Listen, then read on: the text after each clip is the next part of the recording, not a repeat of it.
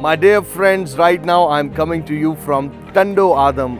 Yesterday night, uh, we just did one crusade in the city of Kotri, which is right next to Hyderabad.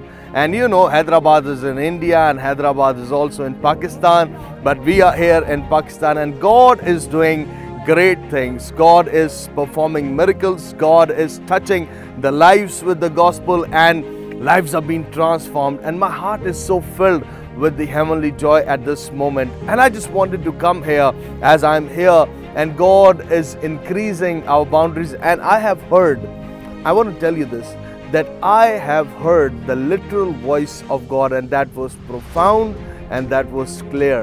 And the Lord have said me to increase our territories. The Lord has asked me to spread our net wide, and He is going to bless us. He is going to take us to the places where we have never been. He is going to take us to the places where people are unreached.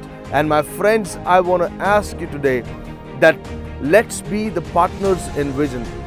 You know, many times we are so willing to do anything together. But at this point of time, I want to ask you to let's be a part, not in anything, but in making heaven rejoice. I want to ask you to be a partner in vision, vision to win the nations, vision to win souls for the kingdom of God. The Lord uh, has built many mission schools in these villages and so many other things we are involved in, whether it's planting uh, clean water hand pumps, mission schools, or anything. It's because of our partnerships. It's because of us being together in the kingdom of God. It's because of us collaborating. So I want to ask you to let's be a partner in vision.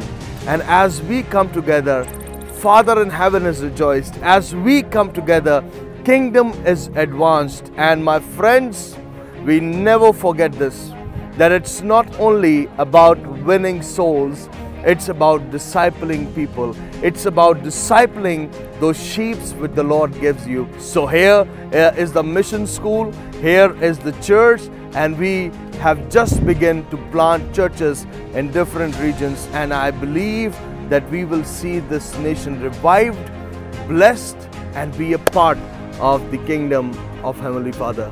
We love you, we bless you, and we cannot wait to hear from you. God bless you.